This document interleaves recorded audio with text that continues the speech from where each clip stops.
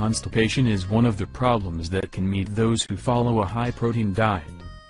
That is why the Dukan diet requires the use of oat bran and the assumption of a good amount of liquid so you should improve and promote intestinal peristalsis.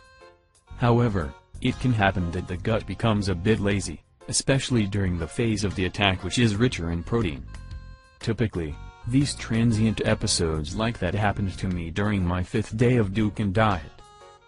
The sixth day, however, had already taken to have a bowel movement regularly.